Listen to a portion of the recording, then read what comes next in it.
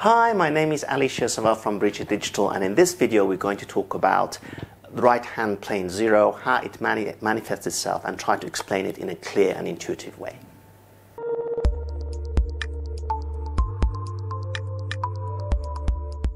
So here I've got a buck converter and here I've got a flyback converter. Now the buck converter does not have a right hand plane zero, but the flyback does.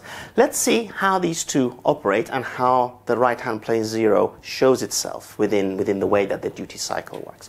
Now if you look at the buck converter, when you switch, turn the switch on, you deliver power from input to the output, and when you turn the switch off, you don't deliver power from input to the output. It's very simple and straightforward. You turn it on, you get power. You turn it off, you don't get power. The filter here is just filtering out the rough edges of the turning on and turning off process of, of the power delivery. Um, the flyback converter, however, is a bit different. When you turn the switch on, the current flows here, and if you look at this dot convention, it will make this diode in fact reverse bias. So during the on period, actually you are not delivering any power from the input to the output. The power that is being delivered is actually being delivered from the energy that was stored in the output capacitor from the previous cycles. So during the on period, there is no direct delivery.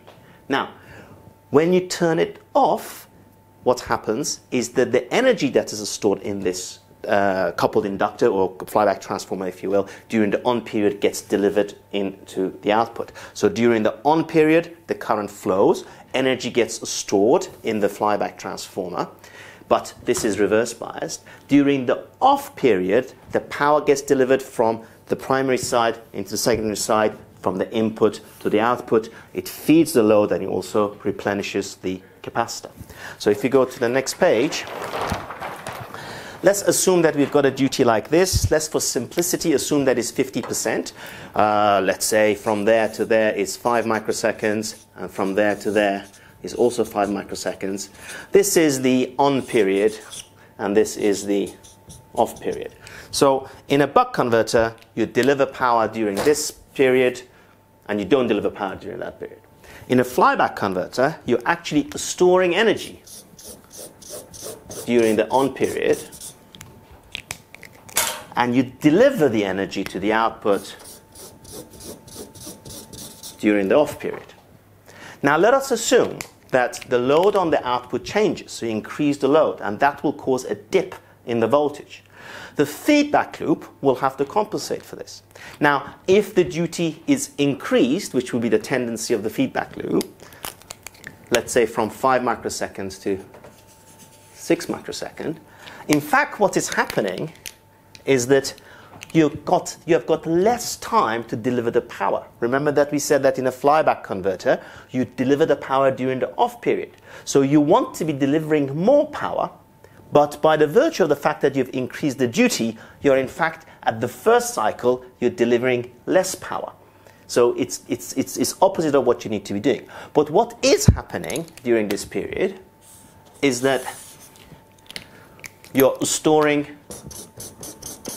more energy during the on period. And in the subsequent cycles, this energy is delivered. And this is the effect of the right hand plane zero. The fact that you deliver the power during the off period and you somehow need to increase the duty, but the feedback loop decreases it, is how the right hand plane zero manifests itself.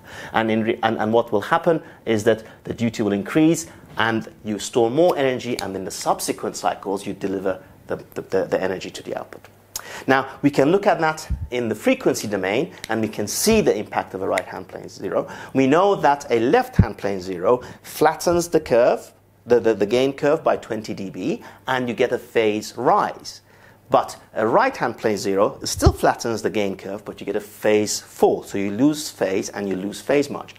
We're, not going, we are now going to go to the lab and we're going to look at this on a flyback converter, which does have a right hand plane uh, zero um, and see how this manifests itself in the frequency domain. One final thing before we go to the, to, to, to, to the lab setup, it's extremely easy to tell which converters have a right-hand plane zero and which ones don't. All you have to do is look to see whether the diode is before the inductor or after the inductor. If the diode is before the inductor, you do not have a right hand plane zero. If the diode is after the inductor, you do have a right hand plane zero. If I were to draw a boost converter, which would look something like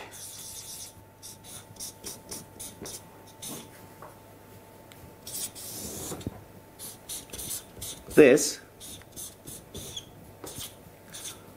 you will see that the boost will have a right-hand plane zero because the diode is after the inductor.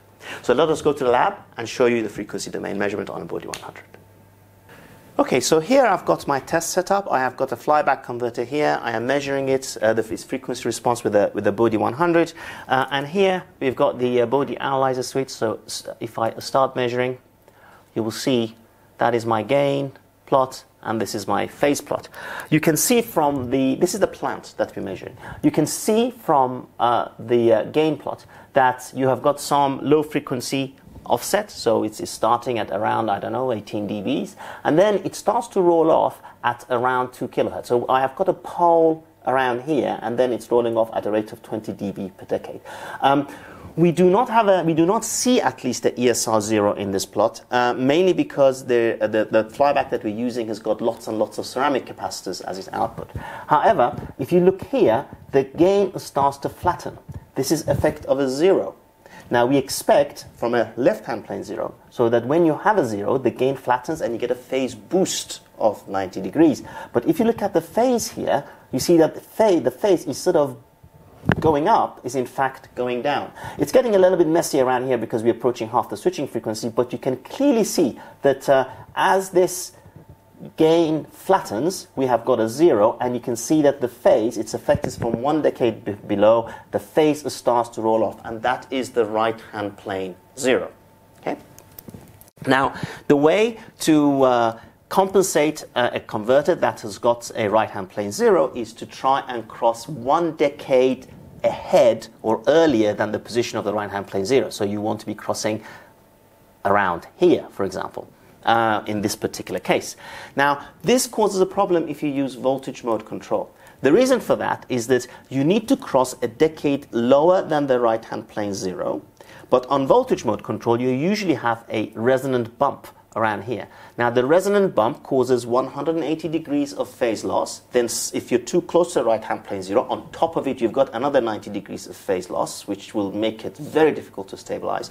Also, this bump here in a voltage mode control, right, after the resonance, you have got um, 40 dB per decade roll off. So, so you cannot cross that side. And if you, if you cross on this side of the bump, then you're conditionally stable because the, you're on the left hand side of the resonant bump. And that is why the vast majority of the converters that have a right hand plane zero are stabilized using uh, current mode control.